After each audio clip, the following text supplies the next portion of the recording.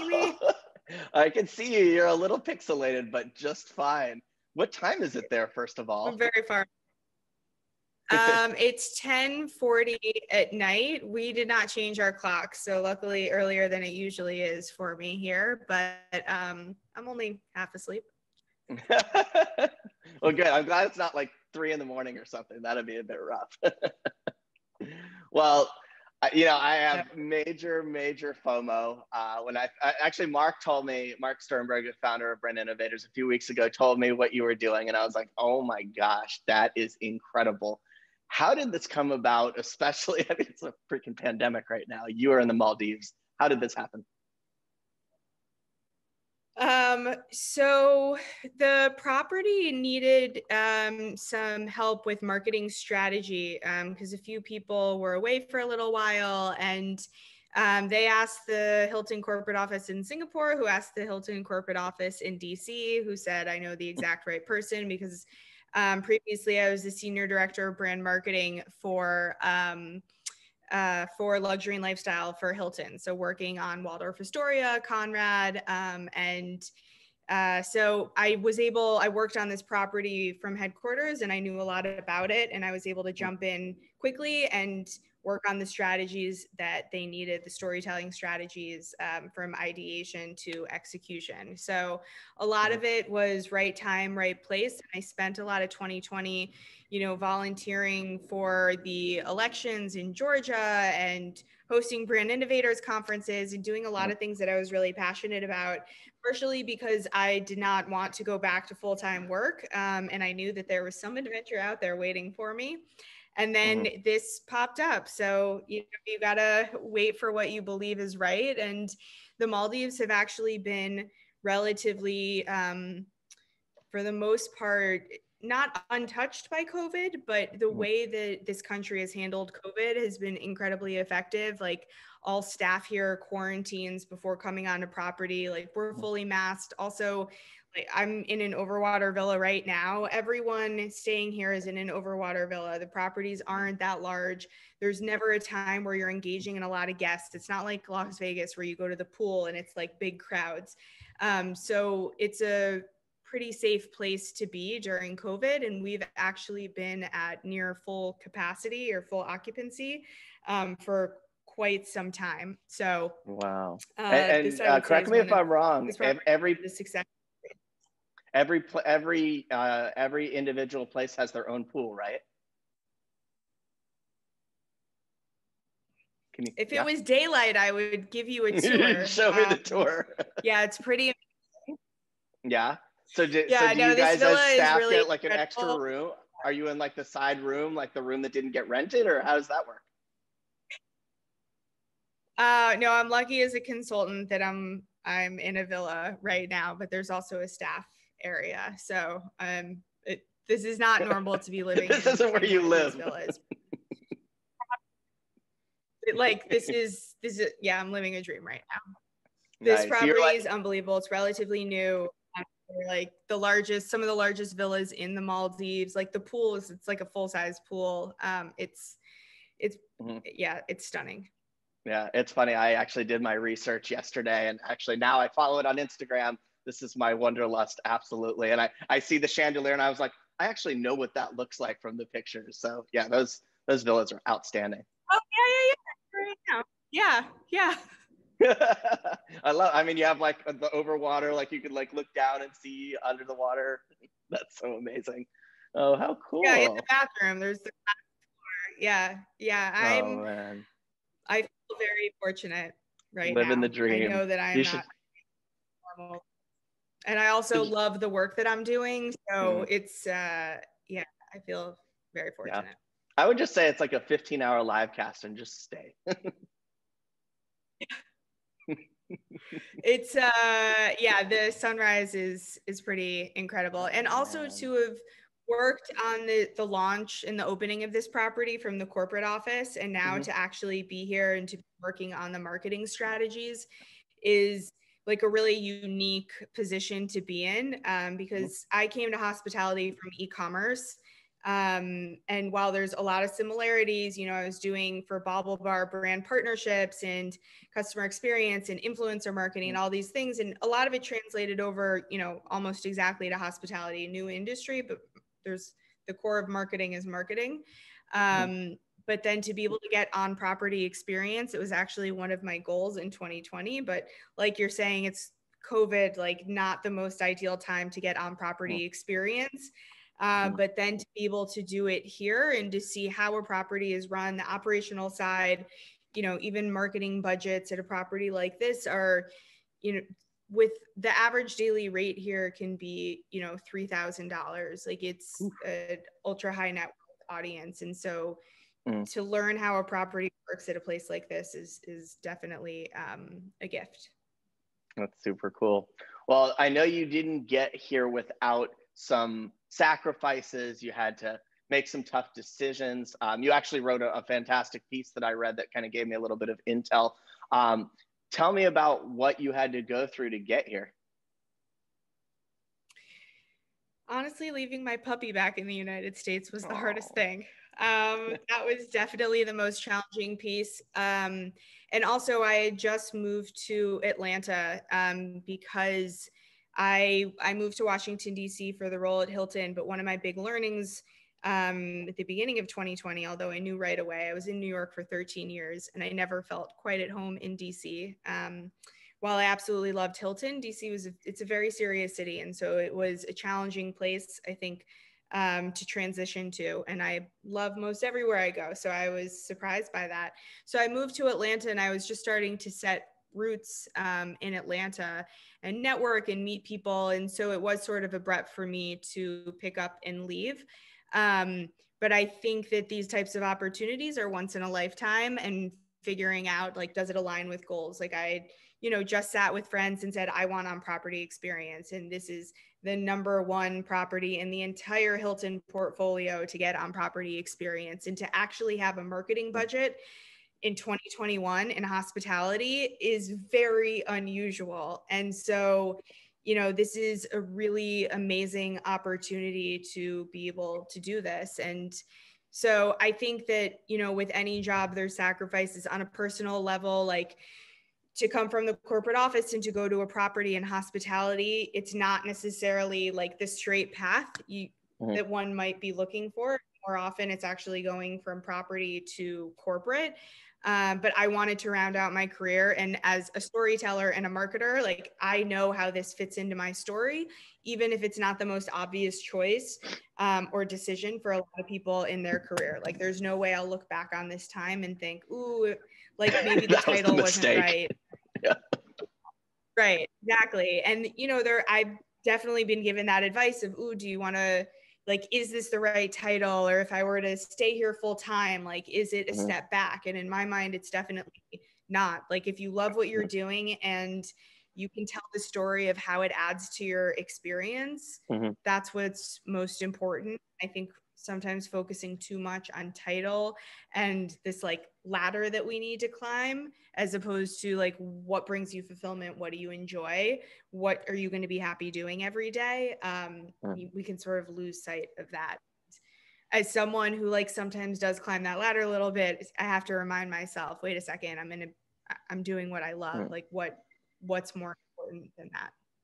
Yeah i can imagine because I, maybe the only thing better than like working there would be just to be there all the time. But then again, that'd probably get boring. So at least you're like involved in the in all the things, all the decisions, and you know you you help you know mold this resort, which has got to be amazingly inspiring because you you must be around the world's wealthiest celebra- celebrities, wealthy people. I mean, just the the the depth and breadth of the kind of people that come there. Um, just to even you know meet them and and kind of see what their world is like has got to be fascinating yeah it really is and one of the projects i'm working on is you know storytelling for the property and putting a story behind the resort and a feeling that people um, have as they go through the property so when they leave it's not just you know the restaurants that they ate at because we have 11 restaurants here which is more it's awesome. the more than any other resort in the Maldives and they're incredible. Mm. And like everything here is impeccable, but we also want to leave people with a feeling beyond that. And so that's one of the projects that I'm here working on. And so,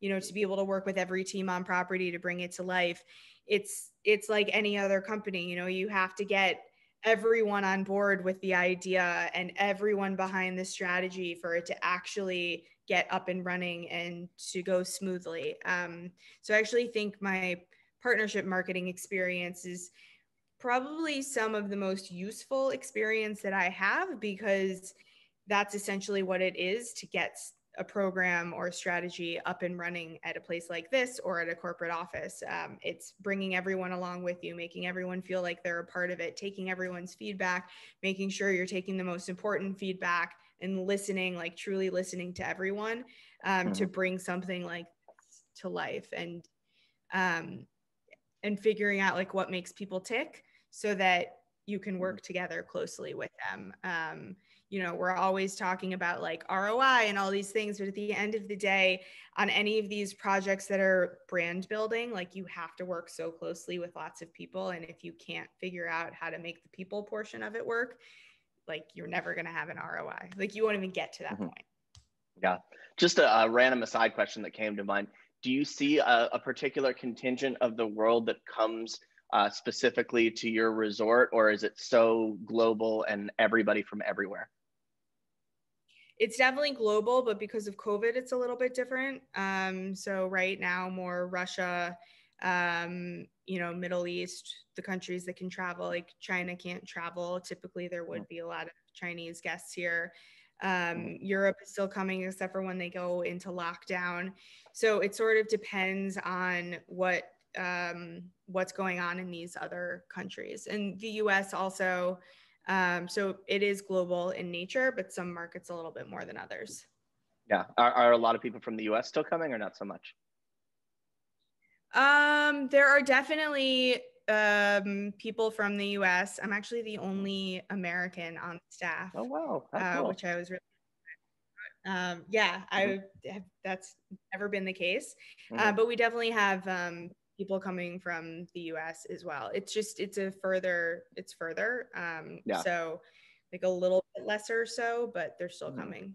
Especially yeah, I I, I I checked the I checked the flights. I, I'm I'm trying to manifest this into reality. So it's going to be a while, but hopefully, hopefully someday. it's not the wasn't so bad. The flight wasn't yeah. so bad. It's like a full day, right? Yeah, but by when you get here, you forget. You immediately oh, like you step off the yacht yeah. and property and like you don't care how long. It could have taken you 4 days to get here and it won't matter. Like it's everyone's like is it as amazing as you see in the photos? Yes you don't need filters here. You like uh, the influencers use them. You don't need mm. them. Most everything yeah, is like perfect on the iPhone.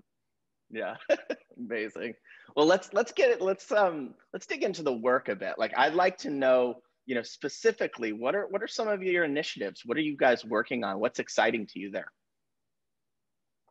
So the storytelling project is a big one, um, and it hasn't launched yet, so I can't say exactly what okay. it is. Um, but the idea of it is putting a story behind the resort um, to then create experiences that leave guests with a memory. So like a feeling that you have on property. And similar to like when you breathe in the ocean air you remember what that scent was. You take it home with you. Like if you breathe in that scent somewhere else you're reminded of a vacation um, i'm creating experiences like that that sort of bring you back to the resort. Um, mm-hmm. and bring you back to this idea of like magic and the feeling that you get when you're here because it truly is a magical feeling when you're on property. So I've mm-hmm. been working on that. There's a restaurant that launched, so I was working on the launch for that. We have these two overwater villas that are standalone, only accessible by boat. Um, and so I was Those working on a positioning exercise. Yeah, they are truly incredible.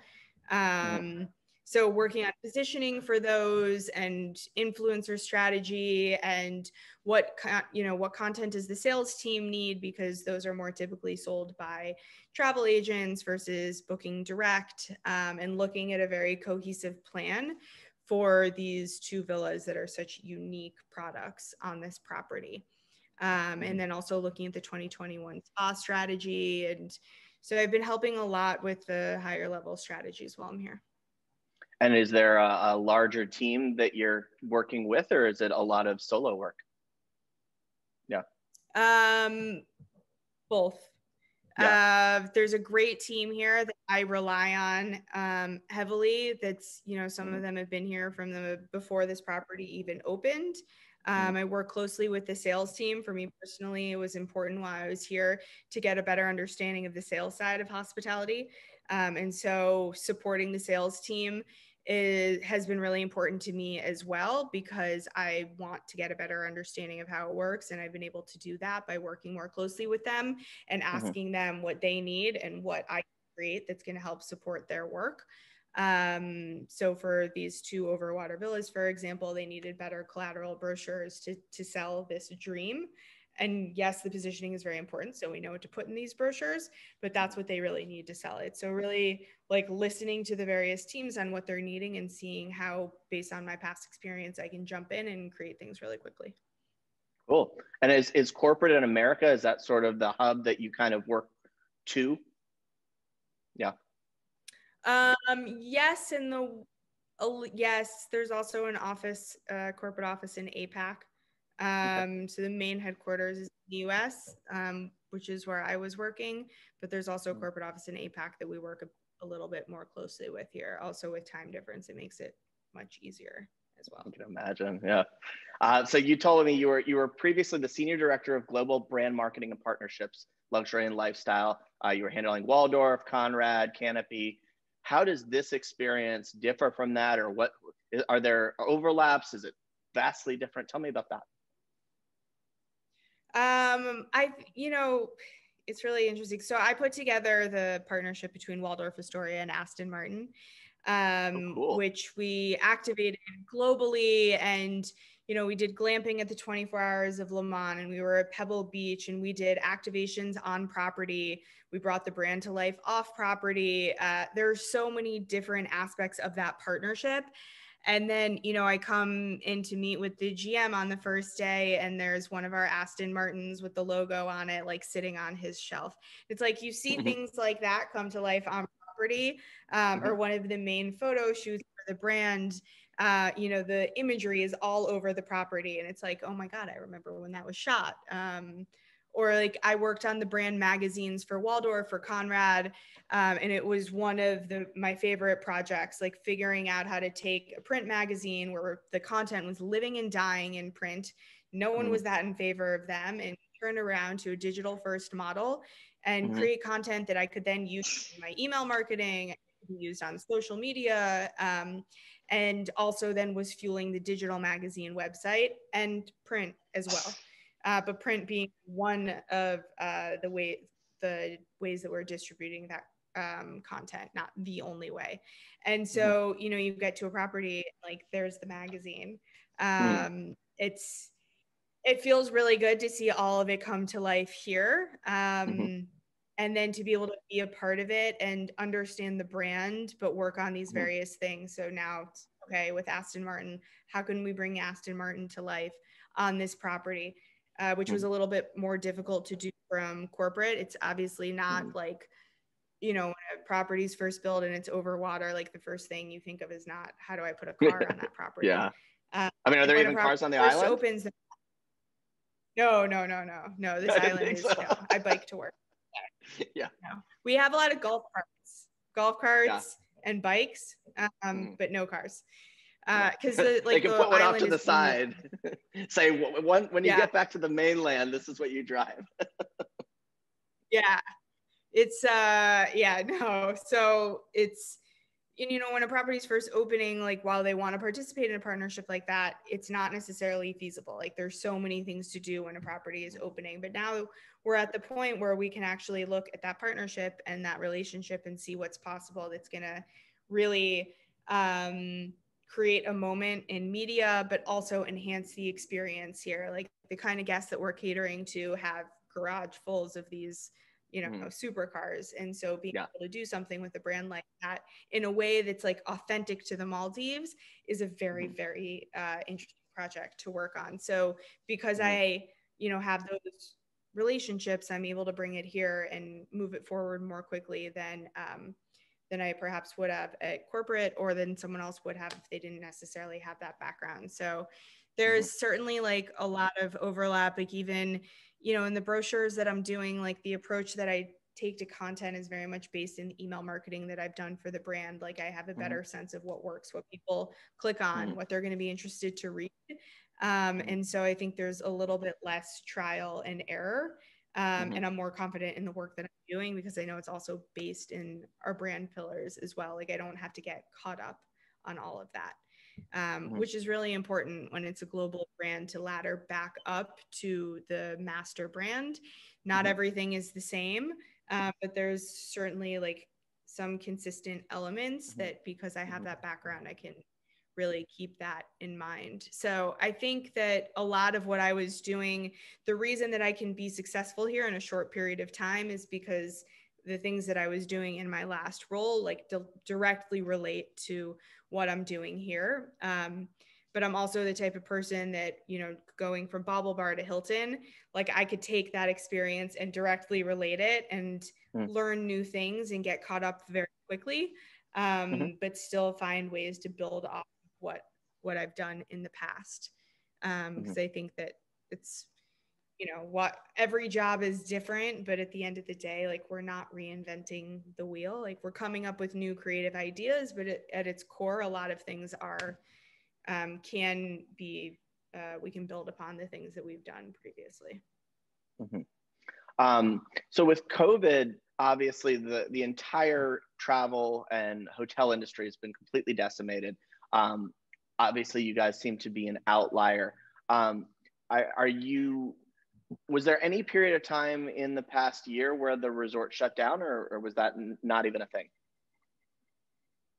Um, yeah, the it, last summer it did shut down for a while because Maldives, the Maldives shut down for a while. But since reopening, you know, there's not that many places that people can go to, and because this is a relative like a safe destination, and the mm-hmm. way that you know this property is treated COVID safety with all of mm-hmm. the COVID tests and mm-hmm. um, the social distancing and the way that the staff has to quarantine uh, mm-hmm. before they arrive and then we're all, as staff we're all masked up like mm-hmm. it's it's a very very good place to go during a very bad time in the world um, mm-hmm. and so i think that we were you know the property was able to make up for it which is shown by the fact that they brought me in january like hospitality is not necessarily hiring right now not mm-hmm. the you know best when I left retail for hospitality, hospitality was like the best, safest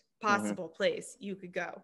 You know, yeah. millennials and younger, everyone was spending money on experiences and not as Truly. many things. Mm-hmm. Um, and then, no, obviously, no one could have seen this coming. So, mm-hmm. um, mm-hmm. yeah, hospitality is definitely like a challenging place to be in 2020 and 2021. Um, so I think I'm in a fairly unique situation that I ended up here during during this time.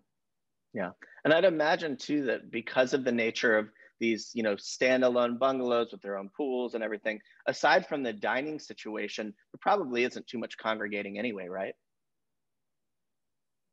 No, and even dining, a lot of people prefer to eat in their villas because they're so big and so spacious. And there's like a full dining table outside, plus mm-hmm. another table and the swing beds. And like you, mm-hmm. you never need to leave your villa unless you want to. And the mm. restaurants, mm-hmm. the restaurants, everything's outside.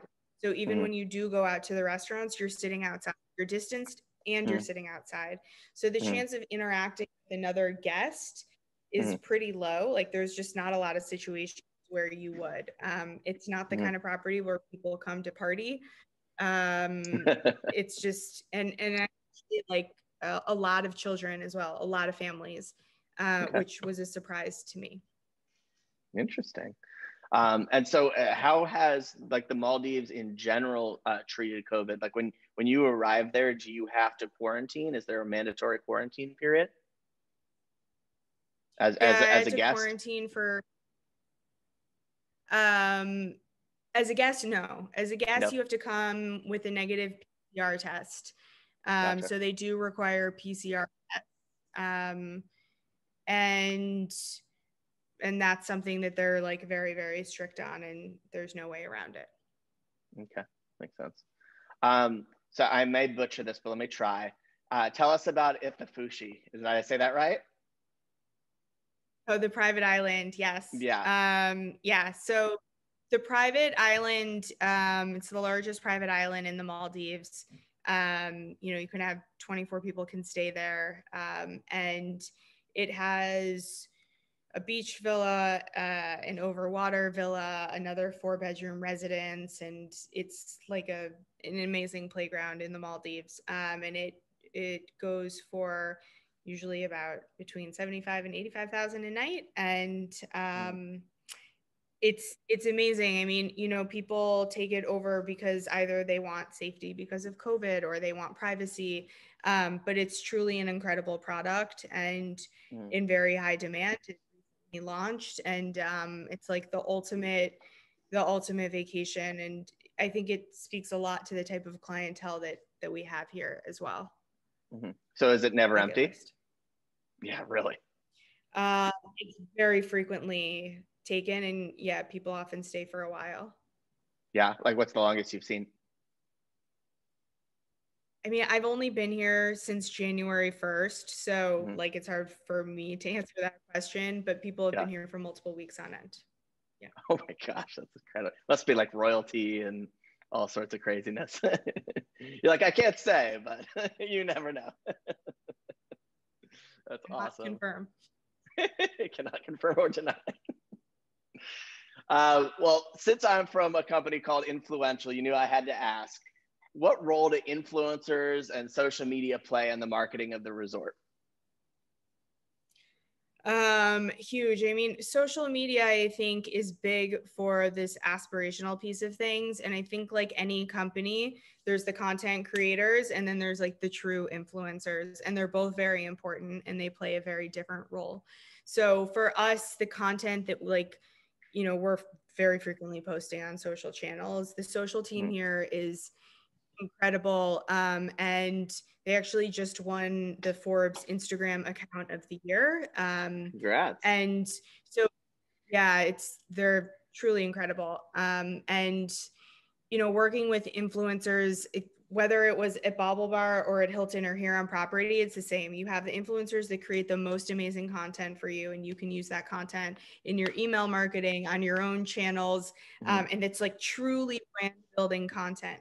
And those mm-hmm. people may or may not convert for you. In an ideal world it's both that they're converting for you and they're creating the most amazing content but mm-hmm. sometimes mm-hmm. you need a very specific type of content um, and sometimes you have influencers coming and in the case here the influencers are like celebrities like mm-hmm. not bloggers but like true celebrities who are mm-hmm. very very influential and their audience want to want to mm-hmm. do what they're doing and can afford to do what they're doing and i think that's what's maybe a little bit different than um, in retail, for example, like I think the true luxury fashion could probably be compared, but when we're talking like normal fashion, it's a little bit easier to find influencers whose followers can then afford to buy what these influencers are posting. Here, like you really have to hit that high net worth audience or it's just for aspirational purposes and i think that this property does a really great job of balancing the two so that mm-hmm. you know we have the content that we need and all of these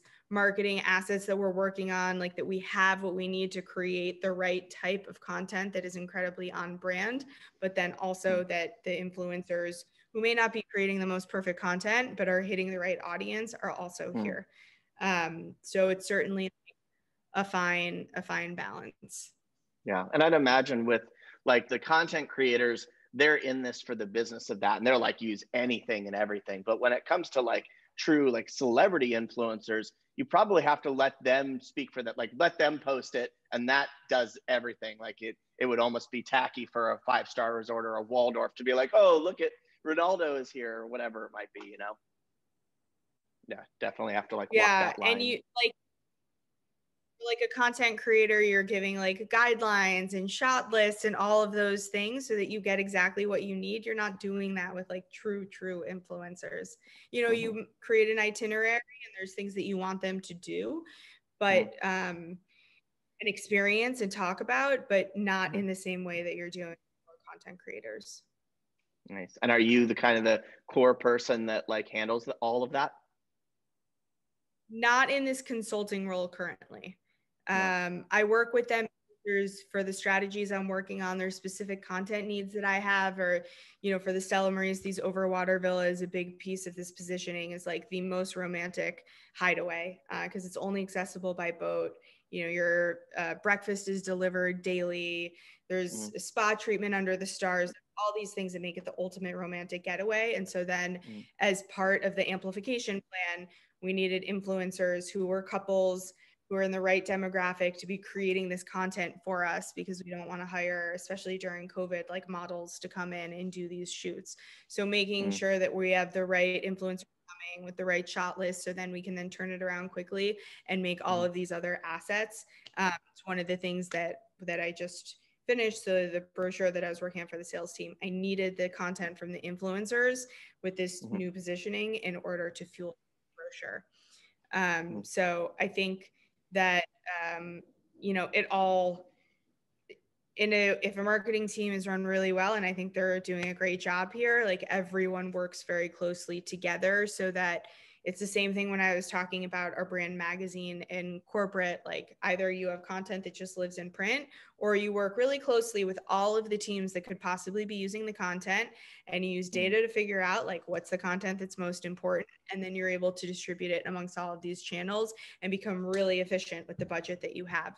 So if the mm-hmm. person handling influencer is in a silo, and they're not mm-hmm. thinking about like where else can this content be used just our social media channel, then the budget is sort of wasted and we're not getting the out of it. So I think the more everyone works together, the more um, efficient we become, and the the you know the budget can be stretched much further. Yeah, nice. Um, so I know you'd said it's a three month uh, consultancy, so it, it, probably is coming to an end soon. Is there uh, a next plan on the horizon for you? Or I mean, I would probably just try to stay.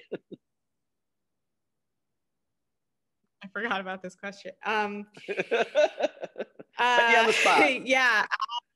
Uh, ask, ask, me in a week. Uh, there's always something coming up. Um, I predict you stay soon. Yeah, follow follow me on LinkedIn, um, and perhaps there will be um, more updates soon. But for now, I can say this has been an incredible experience. Three months living on an island.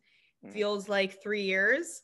Mm. Um, it's a very interesting experience to live amongst your coworkers, and because mm-hmm. of COVID, um, because you have to when you get here, like mm. a lot of people haven't left the island in like six months a year, like a very very mm. long time. Typically on this yeah. island, we're only 45 minutes from Male, the main city where the international airport is. Typically, you can at night after you're done working, you can take a speedboat into the city like get a manicure, do whatever you want to do, go out to dinner. You can go to other nearby resorts for your day off, hang out at those resorts.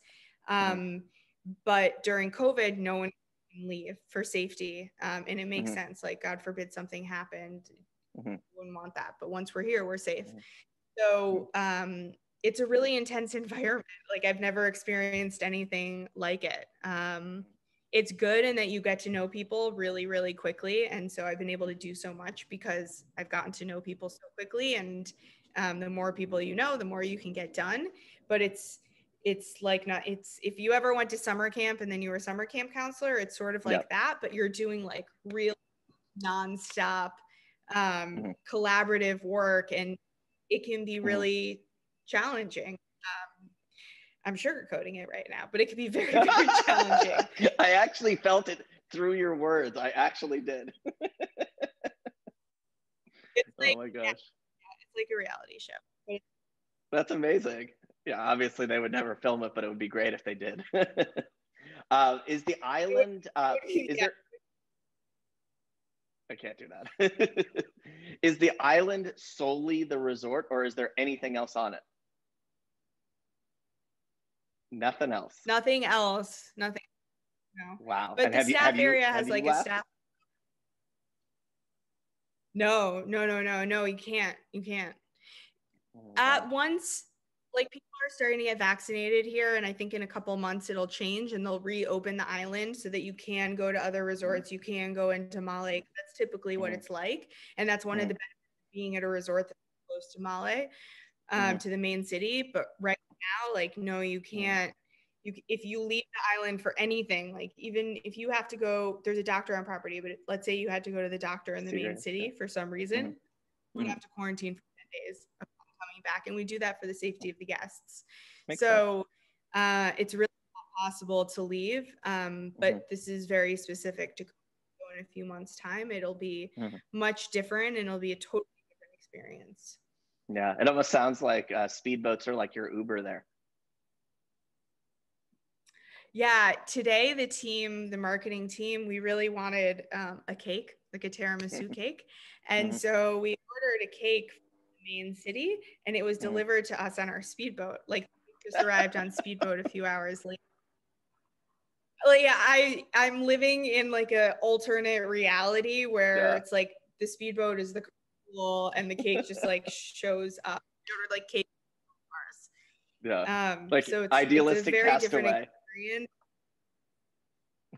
yeah, yeah, yeah, yeah. But you have to have in order to because it's not just you know in a normal office environment you go to work you do very good work and then you mm-hmm. go home and you can get away from it here you can't get away from it so you have to be like truly adaptable and um and have thick skin yeah i can imagine um, so we're almost out of time, but um, I read that you're a founding advisory board member of the Women Leading Travel and Hospitality. Can you tell us about this organization and its mission?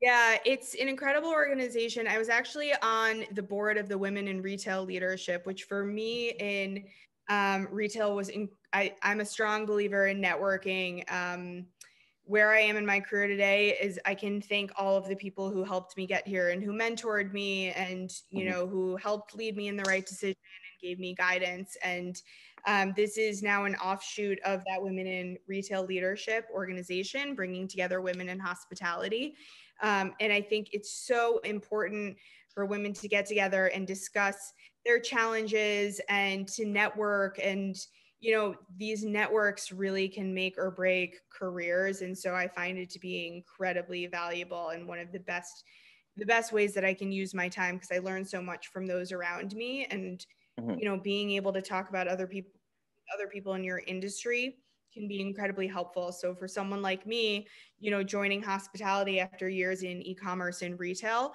being part of an organization like this with with a lot of hospitality veterans learning from them they're able to learn more from my retail experience.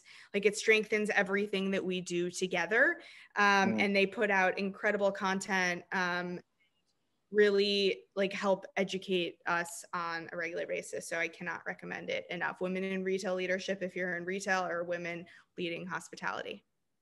Super cool. And i, I know I, I read in your article you had mentioned how um, experiences in groups like this, and you equated it, and this is a great way to to tap out to Emily, is that you know experiences like this in groups, especially brand innovators, for example, that has enriched both you and I so much. Uh, is really critical to building out your your reputation and establishing yourself in an industry.